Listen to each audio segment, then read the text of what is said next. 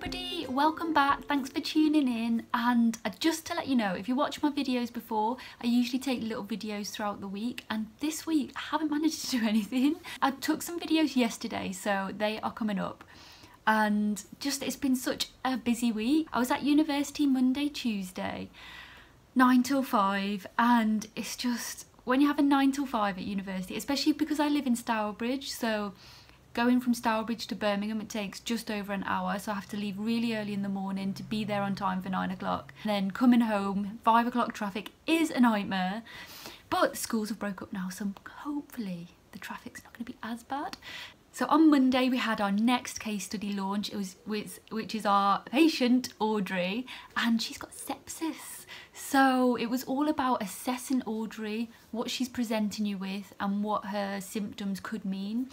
So she's got a whole range of symptoms. So she's got a high respiratory rate, high um, pulse rate. Her blood pressure's dropped from normal, even though it's in the normal ranges, 108 to 74 her normal ranges is a lot higher than that so it's dropped which she's cool she's clammy she's sweating all these different things and you have to piece together okay what could be wrong so you rule out infection you do the blood testing you do a scan on her chest because she might have a chest infection. Anyway, further down the line you find out she's got sepsis once you've ruled out other things. She has got sepsis. What is sepsis? If you don't know what sepsis is, sepsis is basically your body's immune response slash reaction to an initial infection.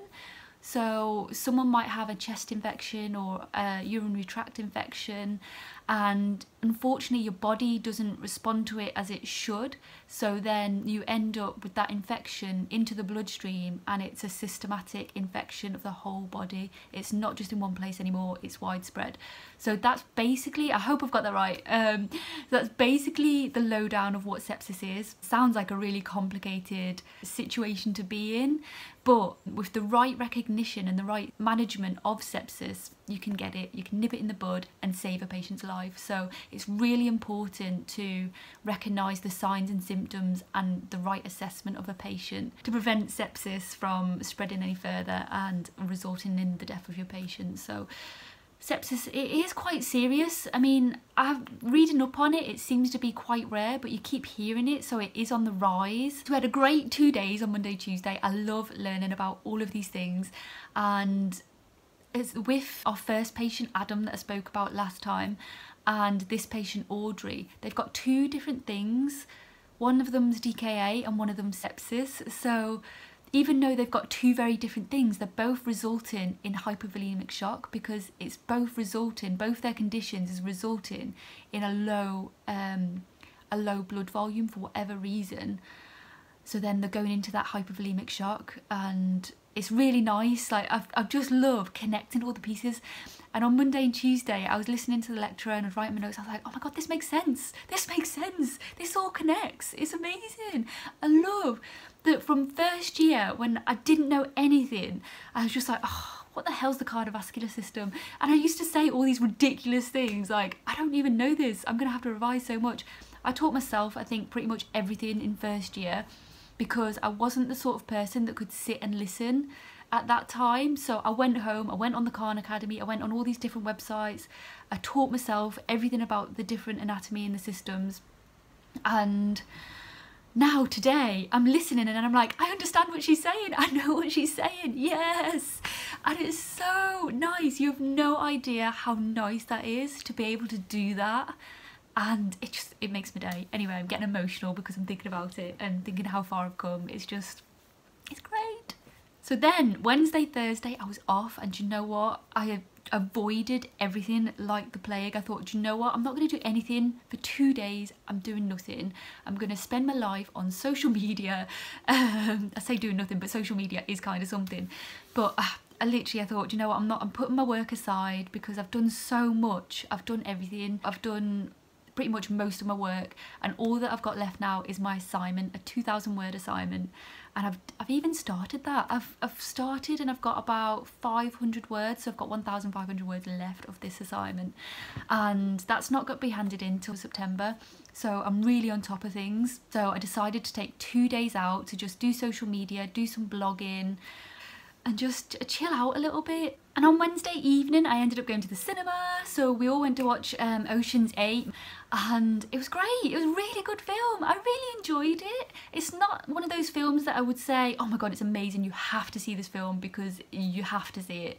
It's not as good as that, but it's easy to watch. It's funny. Yeah, it's it's a good movie. And then Friday we had our healthcare awards ceremony. Oh, I was invited along as part of the HARS team. Um, I've talked about the HARS before. If you don't know what HARS is, it's the High Achieving Recognition Scheme at my university, which celebrates success in those that achieve high, basically. The Healthcare Awards is awards given to students, to lecturers, anyone that's been nominated for an award, basically, for anything they've done or anything they've achieved, overcoming things, and it was just such a nice day. So I was there part of the HARS team, and I thought we were there because Juliet, who runs the HARS team, I thought we were there because she was going to get award for all of her hard work and recognition and she stood up and she was talking and then she was like I just want to present this award to all of my HARS scholars. I was like what? Does that mean we have to go up on stage? And I was there, I was just baffled. I was like, no one told me I had to go up. No one told me I was like going to receive a certificate or anything. Like, I was so, I was panicking because I had these heels on. I had these, let me show you. So I had these heels on and they don't actually look that big, I don't think, from there. But apparently they're three inches tall. I haven't worn them for probably about two years, almost two years now. So I forgot what it was like to walk in them and my feet were aching. And then so when she said that we had to go up I was like oh my god what do I do? My shoes were off. My shoes were off my feet and I ran as fast as I could onto the stage barefoot and to get a photo with the team. And then I was like oh my god I've got bare feet. What have I just done? Um, everyone's gonna laugh at me. So I just, I ran as fast as I could. I was like, get your head down, run, no one will notice, take a picture, go run back to your seat as fast as I could. Oh, I was so nervous. I didn't expect it. And I was like, oh my God. So I'm chuffed. I got like a little certificate. Let me show you the certificate. So look, here it is.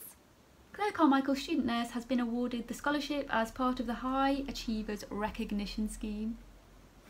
That's me. I'm chuffed. it's nice to show your achievements I think sometimes because sometimes you do feel a bit down and you think oh, I'm not good enough I can't do this. So when you get something like that it's just it's so nice to just think actually do you know what? I can do this. I am good enough. And I've always put myself down academically thinking I can't do this. Uh, before starting this course I always put myself down always thought you know what? I don't know how I'm going to do I don't know, by the end when I get to that dissertation I've got to write thousands of words. I don't know how I'm going to do it and if I'm going to fail it's going to be in third year.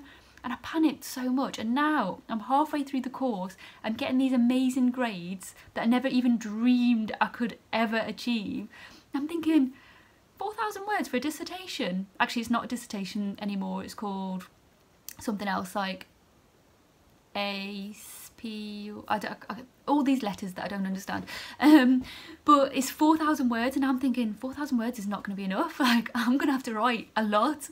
So I just, I think it's amazing how far you come on this course. And I keep saying this, if you're looking into nursing, it will change you and it will change you for the better and it will improve you and it will make you believe in yourself. It's nursing, well, how can nursing do that? That's what I thought when someone said that to me. But do you know what? It does it will change you. And if you think that you're not academic enough I'm here today to tell you you are. Because if I can do it you can do it. Don't have any fear. Please please don't be scared. Get the help.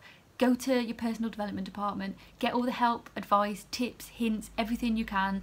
Put them into place. Listen to all the feedback on board that from your first assignment that you do. And just improve yourself. And you'll be amazing. Oh. Sorry, I feel like I've just spoken 101 words an hour. So sorry about that. Anyway, back to Friday. Friday was amazing. So it was a great day. It was so nice to see everyone go up and get their awards. Someone got a unicorn. She got this um this award and it's in it was it wasn't a oh, I can't even speak because I'm so excited. It was a unicorn. It's this beautiful I think it was brass or bronze statue of a unicorn sort of up on its heels and it was just beautiful. I love unicorns. but all these people had such an amazing achievements and awards and it was a great celebration and the food don't get me started on the free lunch. I'm going to show you now. The free lunch was amazing. I mean, I didn't go for the free lunch. Some might dispute that, including myself. I definitely went for the free lunch. It was really good. It's the best chicken I've ever tasted. So thank you to Edgbaston Cricket Ground. Absolutely amazing. If you're going to an event or anything at the cricket ground, sign up for the food. and it was just it was just such a lovely day and I was so honoured to be there and just enjoy the moment so now I'm going to show you what the day involved.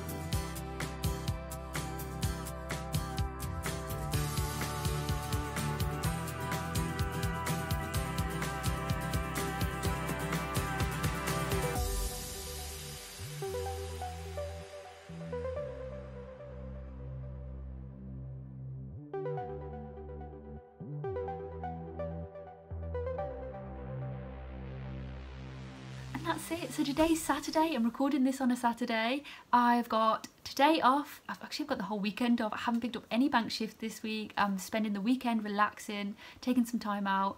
Although today even though I said I was going to be relaxing I'm probably going to look at my assignment because I'm just I don't know what's wrong with me I just I feel like I should look at my assignment and just make a start on it. And then at least then when it's out the way I've got nothing. I've got no work to do other than revision and my maths. So I'm gonna do that. So have a great Sunday everyone. I hope you have an amazing day wherever you are whatever you're doing whether you're working day off however you're watching this video. If it's not a Sunday I hope you're having a great day whatever day of the week it is. And I'll see you all next week